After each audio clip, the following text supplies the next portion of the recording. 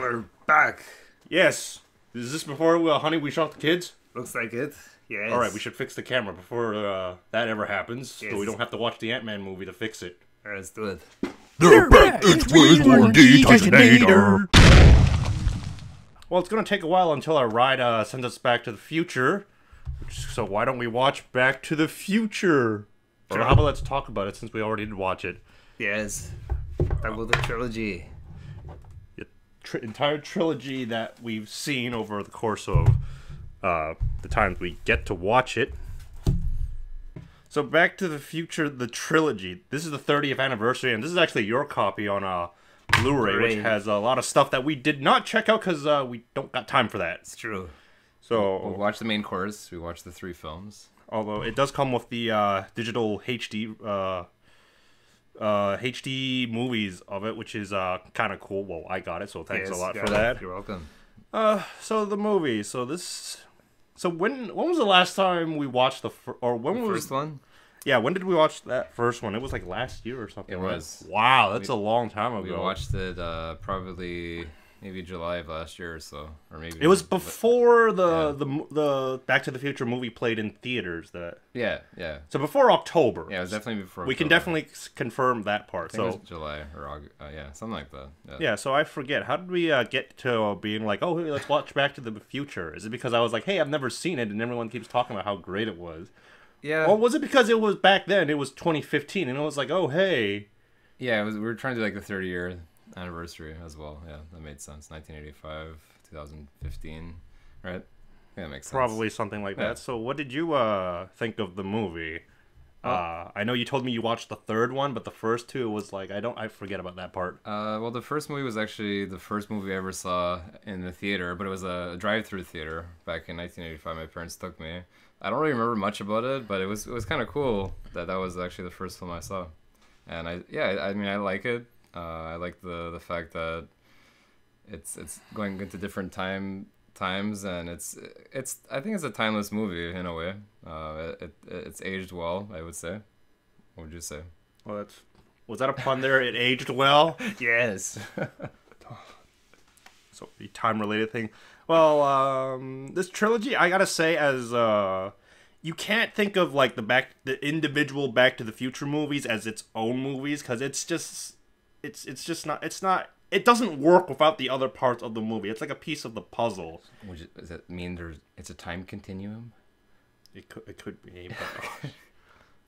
Jeez, I'm, I'm I'm pressed up against this for time, but yeah, the Back to the Future trilogy. Uh, saw the first one, and uh, I I told you about it. I was like, I was didn't, okay. I didn't. It was okay, but I wasn't I wasn't blown away by it. I was um, well, obviously, but I wasn't too impressed with it. I was like, oh, this movie is okay, And then second one? but th- yeah, as going as time went on, Yeah. I liked the second one, but I'm not sure if it's because I liked the second movie because I liked the second movie as As as, its by itself, or it's because I watched the first one and it kind of connects and it kind of connects all these like threads and sure. makes it more interesting. And then we get to the third one, which um, I'm still I I have the same feeling about like the second one. Like I like the third movie. Third movie, I think I like it the most, most out out of of three. all of it. And people actually don't like the third movie because it was weird. Yeah, it was different because they're going like 100 years back in time, which is a big stretch, right? In the Western. Do you think I liked it because uh, it went back hundred years and was Was more 100? yes, this is quite a possibility. Wow, what a what coincidence! But uh, no, I, I actually do like the third I, third one. I was actually kind of dreading the third one. I You was were? like, I was like, oh, it's gonna take place in the West. What the hell are they gonna do here? But Uh, I, I liked it. It was kind of more concise than the other movies. I'd say. even though it was actually the longest of the three. It is the longest, surprising. but it didn't feel that No, way. was- Like the other two movies, I was just like it. The third movie was not as frustrating as the second one, which even though I did like that one, but uh, you're but uh. We actually did do a uh, vlog of this, but I was not happy with that, so we re- So I went back in rewrote time. Yes. to rewrite that. You're never gonna see that. Uh, But Uh, but yeah, that's as a whole, the whole, whole entire trilogy. I, I like the movie, like story and the effects are obviously uh good with the occasional like reminder of RoboCop three uh, jetpack. Yeah, I could see that. But uh, yeah, I mean, did you like the the acting throughout? Did you like the some of the? Well, most of the cast did come back, with the exception Mo- of Crispin Jen- Glover as, and uh, Jennifer. George. Oh yeah, true. Jennifer uh, was replaced by Elizabeth Shue. Yeah, uh, main actors uh, Marty McFly played by Michael J. Fox and uh, Doc Emmett Brown played by Christopher Christopher Lloyd. Um, their chemistry is like great. Like I love Yeah. seeing them on screen, especially in the third one. I, I don't know why, but I really like the third one. I don't know if it's because I really like the whole Western thing, but Yeah. honestly, I was really dreading that third movie. But I wanted to see the conclusion of it because this part two teases you with it. Yeah, it does. Like it literally shows you a trailer of the third after the end of the second, which is kind of interesting. And, and like we brought something interesting about that. Like the first movie started like it, it came out in like well what nineteen Uh, 85, yeah, yeah. 1985, and then it took what five years later for the second Uh, movie. yeah, that's right. 89, uh, or was it? Hold on. I, I think, 1990. I think it was 89, and then Back to the Future 3 was 1990, actually. Yeah, okay, yeah. So sense, the second movie took X number of years to like come Yeah. out, and then the third movie only took a year to come out, Which, which means um they were both made around the same time ish, back to back. back to back, Back to the Future. Okay. It kind of reminds me of like um, Peter Jackson when he filmed Lord of the Lord Yeah. of the Rings. He filmed it all in one go, and not have like time go by, and then all the actors Yeah, get old or some gonna kind of accident happen. Yeah, for sure. But uh, So- yeah, I mean, I, I like. I think I think it was a good way to end it. Definitely the third one. Uh, it wasn't really rehashing much. I mean, it does like make fun of certain things of of it. Uh, I mean, the second one did that too. Yeah, Or- yeah. or Which the I older Biff which, making fun of the, the younger Biff and stuff like that. But well, and the whole using footage from the first movie, which Yeah. uh, the way they did it was well done. So I didn't go like, oh, well, that's just cheap reuse footage of it. Which even though they no, they had some, sometimes did. they had some stock footage that that, wasn't used. It's pretty cool. But yeah, uh, the reason why I say uh, you should watch back to the movie as a whole is um, there's that thing we were kind of complaining about with Marty, where it, he's kept keep getting called chicken. He doesn't learn from this until the third movie, and then it's like, oh, Third time's a charm. oh. Is that what they're saying? That seems to be the thing, but yeah, that, but that's kind of like what, confirmed it for me is yeah, that for sure. when when you watch the trilogy, it's not it's not a trilogy. It's just one whole movie with three parts in it. Mm-hmm. But uh, yeah, looking at it as a whole, like I enjoyed it. I, Yeah. I enjoyed it as a whole. Yeah, same here, man. Um, I mean, yeah, it just it's just cool that we we got to go into the present and then the past and the future and then the way back in the in the past. Yeah, I I I think they did a good job. It, it surprisingly worked out. Yeah. And I think they did uh they did their homework too. Like they try to you know put some historical things into it, and with the mention of uh, I'm trying to remember the the book. I think they well they kind of made fun of the book, right? They gave it its own title, like two hundred thousand. Was it Leagues under the sea? But wasn't Oh, that yeah. that wasn't the actual title in the because it was right? ten thousand leagues yeah, under the yeah. sea. So they did you know make fun of certain. well, you're trying you're trying to bring up like product placement stuff, like Nike. Uh, what was what was it? Uh, Nintendo with the NES game. Yeah, Wild Gun. Uh, sorry, not Wild Gun. Sorry. Uh, Yeah, Wild Gun or Gunman. No, Wild Gun, man. That's it. Gunman, uh, the NES Jaws game, the it's Ste- and Jaws with Steven Spielberg producing Yeah, it. yeah, for sure. Uh, Michael was- Jackson moonwalking. Oh yeah, Michael Jackson. Oh, he- Pepsi. Pepsi. Yeah. Uh, there was a lot of product place, uh, quite a bit of product placement in the background. Yeah. What else was there? I don't, there was more. Well, I guess Clint Eastwood being his name. In Oh the, yeah, yeah, of or- course. and then Calvin Klein was his first name in the first one, which Because of the underwear product, I was like, oh well, good geez. product placement, I guess. Yeah. in his pants. Yeah, it is fast. Yeah.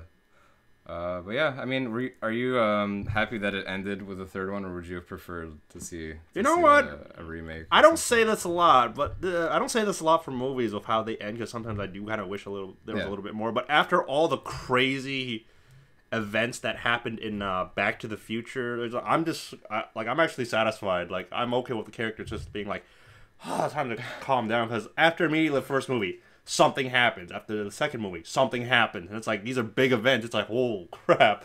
I think we as the audience like like experience like um Marty's frustration as he goes through all these timelines and stuff. Yeah, I think they wanted. They were finally realized that you know what? Let's just live our life. It hasn't been written. Let's just do it and see what happens. And we kind of fixed Right. most of the problems too. Yeah. Cheating. you know what I what I did if it was possible, I would have liked to see an experiment like if time travel was possible. I would have liked to see me like uh starting like watching the Back to the Future movies, but like um the first movie where I watched the first movie, which has already happened, and gave the opinion. I wanted to see what my opinion would have been, or yours, and your opinion. If it's like we started on the diff- on like the second movie or the third movie, like we'd have like three timelines where it's like, oh, what did you think? Because it's like, it's like, um, like like I said, a- after watching it as a whole, like I really I, I can appreciate the movie better now. But if I just watched those individual films by itself without right. like context from the other movies, would I have thought differently about it? And I can't do that right now because I know it's it's just like I'm just gonna appreciate Well- it in the end. I think we did the right thing to do it to do it in order, right? No, it's it's fair, Yeah. but I, I you know it's just kind of that one of that curious question. Like, what if uh, we didn't watch it in order? Would we have been like, uh, oh, that's kind of weird? And then after the watching the movie, like, uh, like either watching back the previous movie, it's like, uh, oh, okay, I get it now. I think we would have made connections either way. yeah, there's a lot of connections in uh, Yeah. in here that they try to keep, and for the most part, it works. So, uh, are you disappointed about about the year 2015 in the part two? Because we lived through 2015. Yeah, no hoverboards yet. Uh, quite. They do have like that. What's the thing called? The, the one that Mike Tyson flipped out.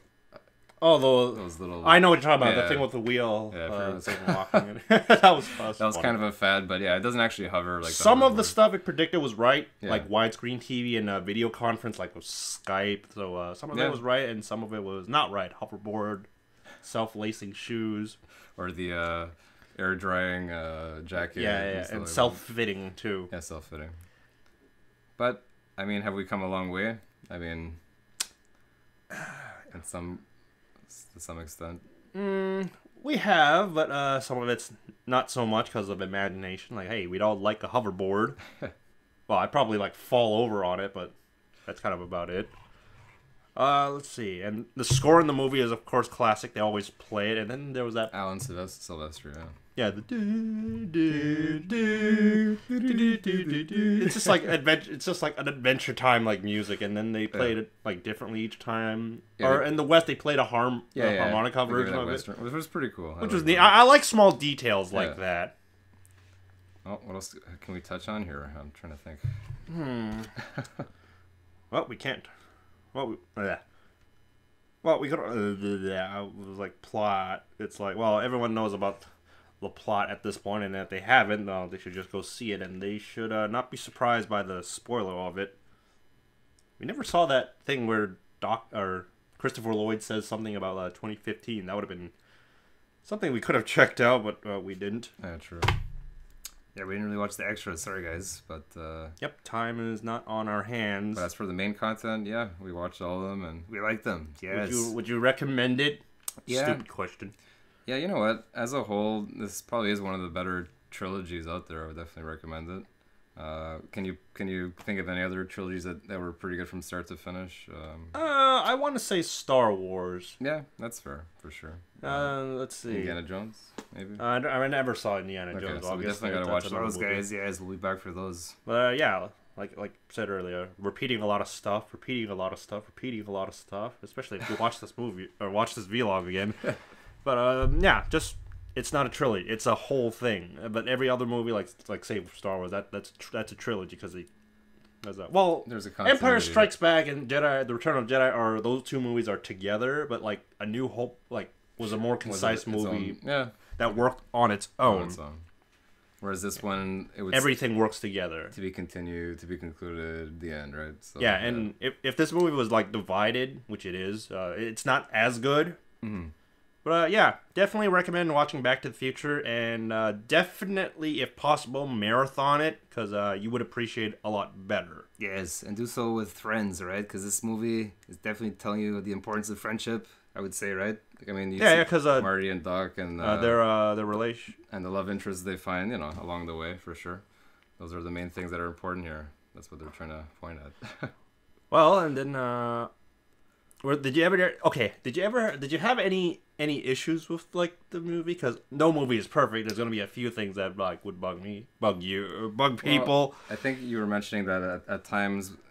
Uh, in Back to the Future 2 with the almanac. yeah, the almanac as well. Or yeah, some of the continuity wasn't was wasn't making sense. And then you said uh, uh, Tom Wilson, who plays the Biff characters in this film, he his accent wasn't like Well, at one point, but for the most part, like he is. I actually like if you, if the movie never told me or the fact that it was like because it's his uh character's Yeah.